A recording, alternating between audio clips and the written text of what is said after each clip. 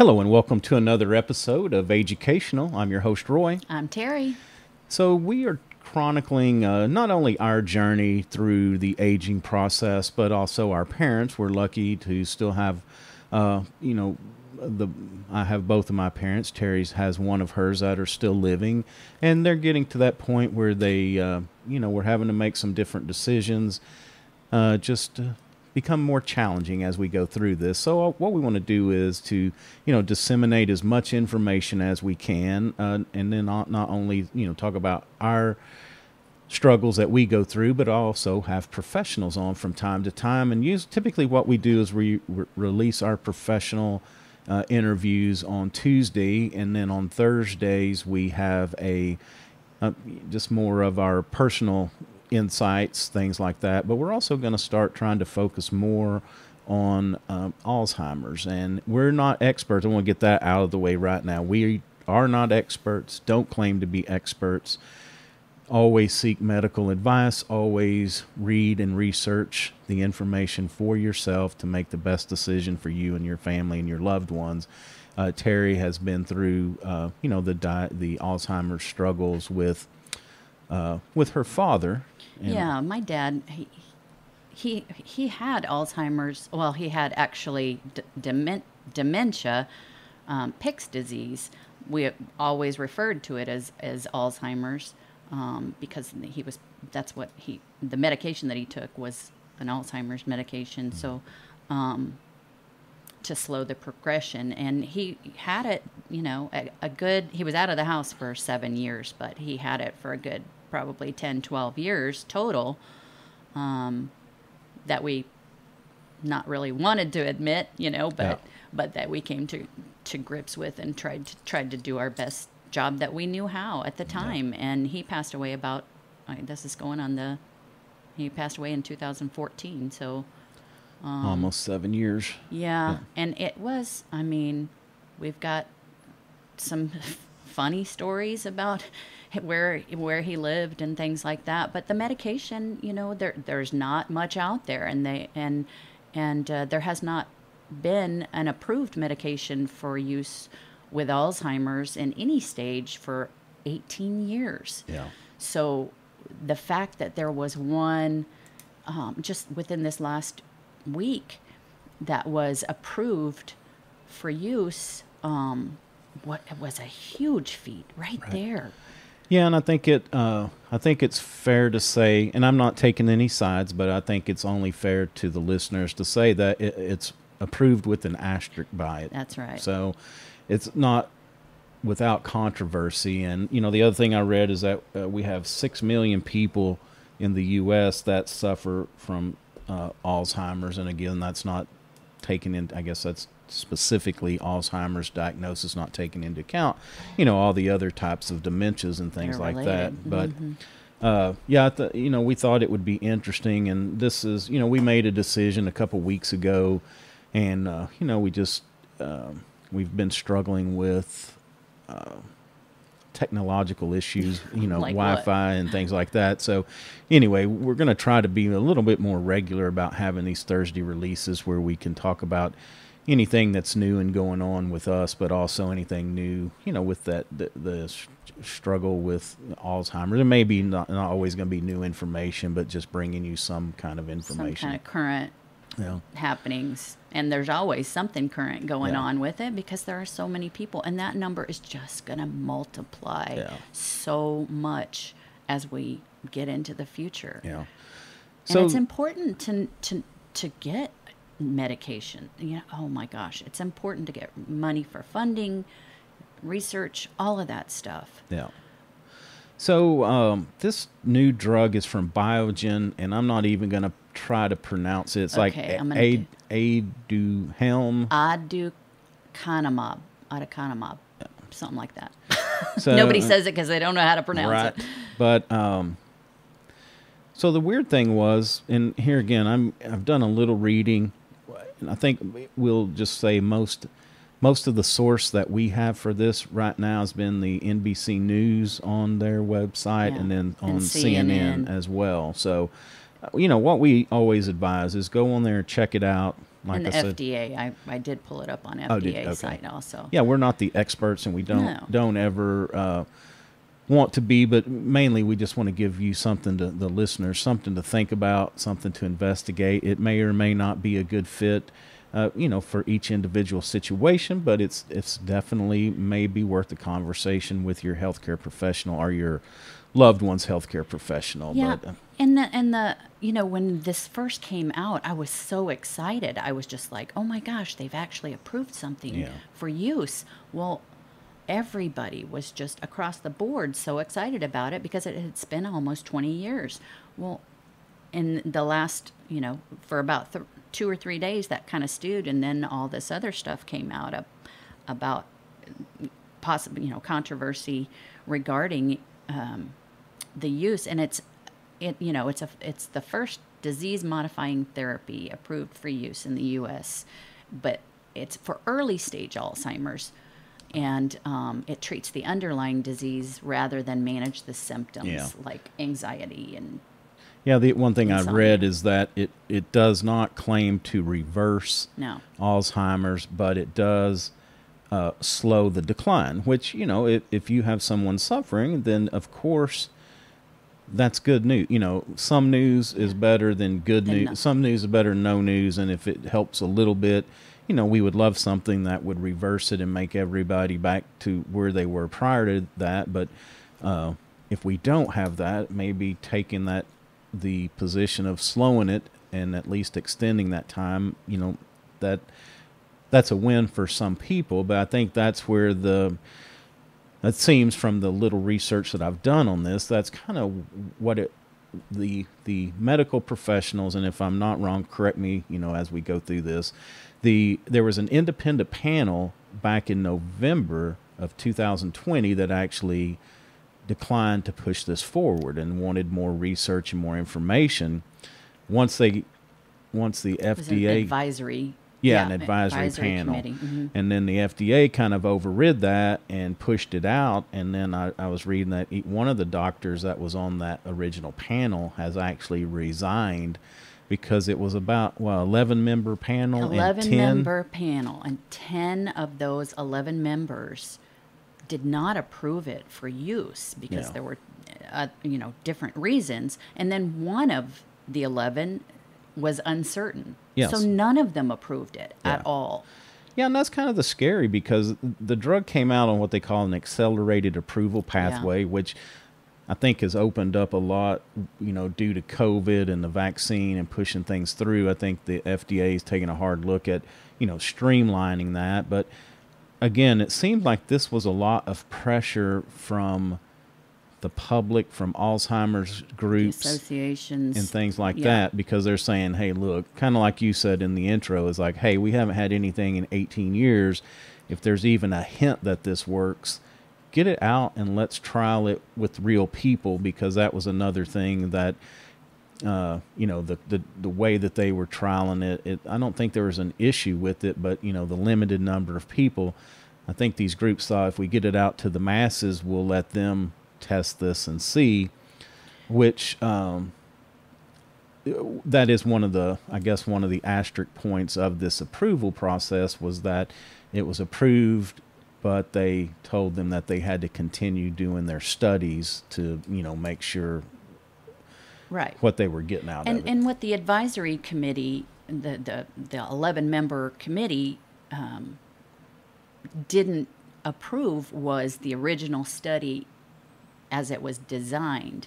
Um, and you know there are some the possible side effects like brain bleeds and you know just even but it, but if you think about it even if they had possible side effects i mean my gosh people have Right. alzheimer's. So what's gonna I, weigh it out you know? Is it Yeah. okay are you worried about the side effects from this the possible side effects from this new drug or the possibilities of this new drug being able to be helpful? Right. You know? I mean they have alzheimer's. That's not a you know that that right there is is the rest that's the rest of their life you don't know how long that's going to be and you don't know what kind of other you know on top of whatever health, health issues come along with that because there are so many you know Yeah, and I think it's important that individuals make the decision, an informed decision, and that I think that's kind of where we're going with this. It seems is that uh, you know the groups are saying, yeah, it, I mean, as long as there's not a lot of uh, a large percentage of people that suffered the side effects, they're saying, well, let's put it in the people's hands and let's let them make a decision. You've got, you know, a terrible disease.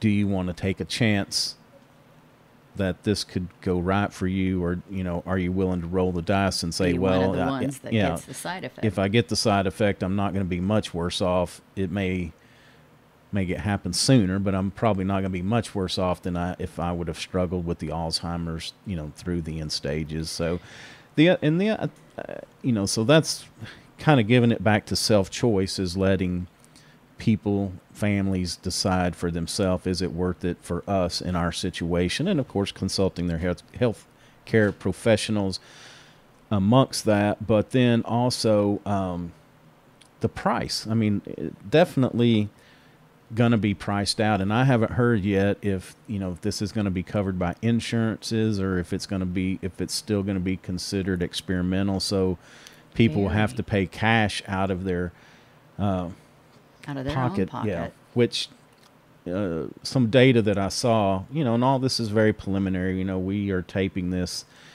June twelfth of um, 2021. 2021. All the years are running together now. so yeah, but just uh, you know, things change rapidly, and Right. you know, if you listen to this in Ju- Ju- the end of June or July or August, maybe it's different. But for today, they're saying that this will cost fifty six thousand dollars a year. Yeah. I mean that that's a lot of money. That's about uh, what just under five grand uh, a month. Then uh. No, it is. And then it said that what you have to do is you have to, it's uh, delivered through infusion. You have to go in every four weeks, get an infusion, and it's based on your weight and then your cognitive impairment. So I guess, you know, if you're heavier in weight and have a, um um, and you're further along with more cognitive impairment, maybe it's going to cost more.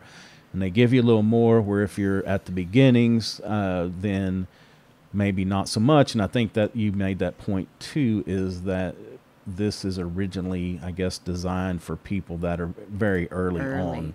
So- early stages. Yeah, and um, I'm sorry, I was going to go back because I No. didn't, because the the um, doctor who was on that committee who resigned, the you know advisory committee who Yeah. resigned, he's not the only one who resigned. There were actually three total members Oh, okay. who who did, and um, you know they s- he he cited one of the reasons because of the great public pressure to get a drug out. I don't know. It's just such a it's that and then and then also that it may delay delay the the development for new drugs for Alzheimer's because they're putting everything into this. I I don't know. Yeah. I, I don't know what Well, I mean, it's diminished momentum for other ones. It's I- pretty telling that uh, 10 of 11 said no, and one guy was like, yeah, I don't know.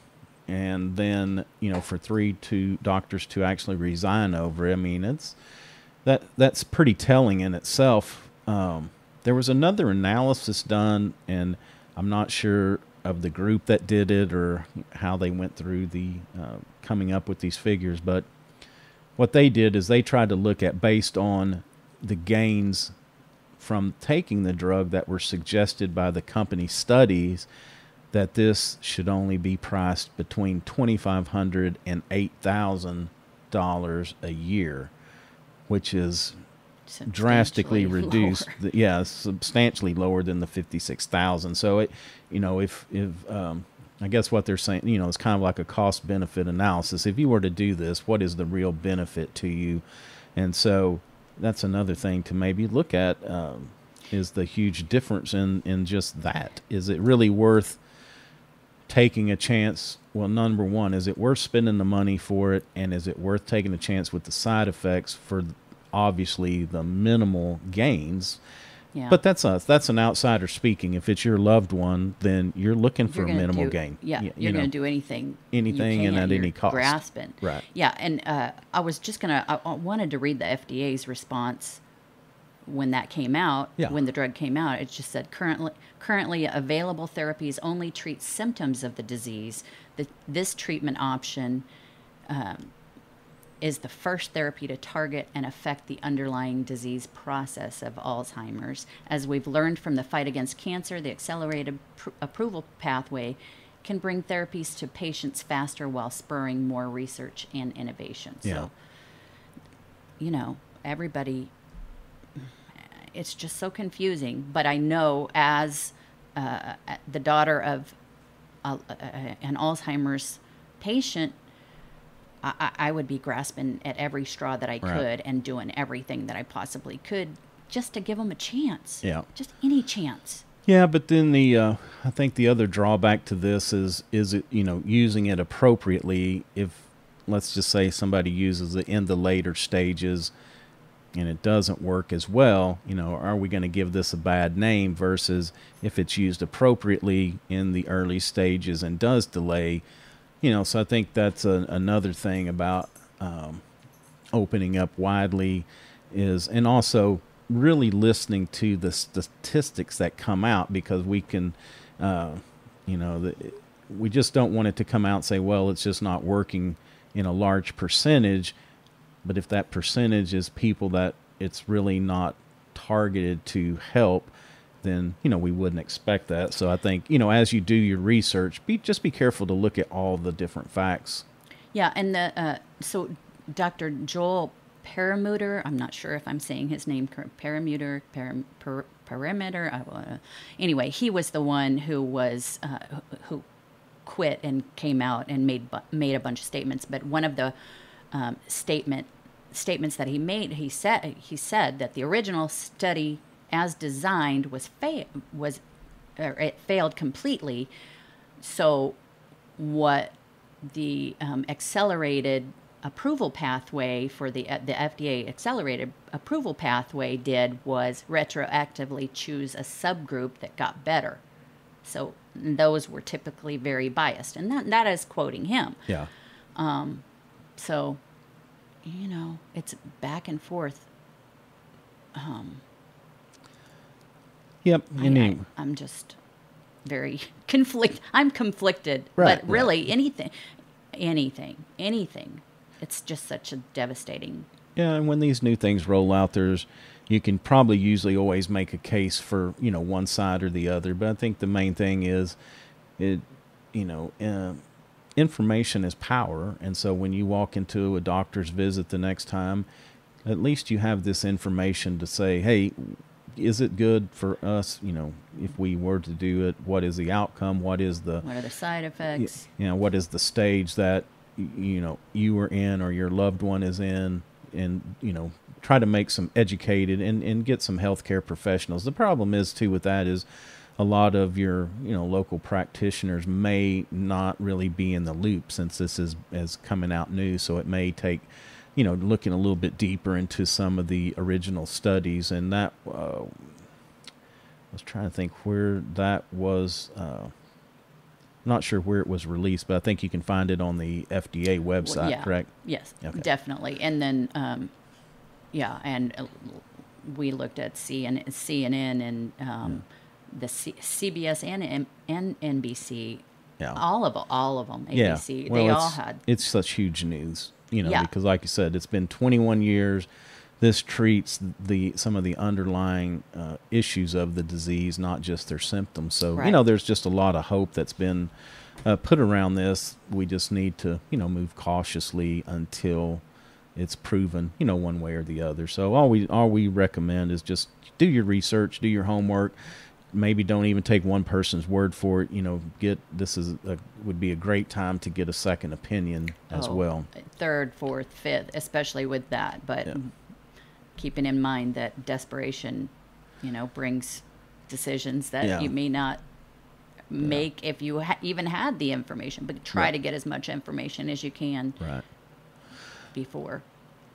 All right. Well, unless you have anything else, we'll wrap it up for this episode.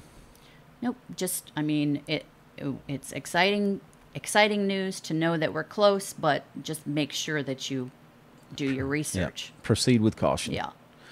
All right. Well, that's going to do it for another episode of AGEUcational. We appreciate you listeners very much. Um, if, uh, you know, we also have the Facebook group you can interact. We're on Instagram. We're on all the major social media platforms. Uh, we have a lot of great guests. If you haven't listened to us before, you know, go over to our website, www.ageucational.com, and you can see all of our previous guests and episodes that we've released. Uh, some really great ones out there, some awesome ones to uh, come up in the future as well that we've got on the calendar. So give a listen, and we're always open for feedback. If there's a topic that you'd like for us to cover or an expert you'd like for us to get on, if you've got a family member that's been through this, we also like to hear, uh, you know, individual stories if people want to share. And then, um, you know, if you have a practitioner that has to do with aging in some manner, if you want to recommend them, we'd be glad to talk about that. So reach out, let us know. And um, we are on all the major podcast platforms too Apple, Google, Stitcher, Spotify. If we're not on one that you listen to, please reach out. We'd love to, uh, you know, get it on so it make it easy for you to listen to. Until next time, that's going to do it for me. I'm Roy. I'm Terry. Y'all have a good day. Take care of yourselves and take care of each other. Take care of your loved ones.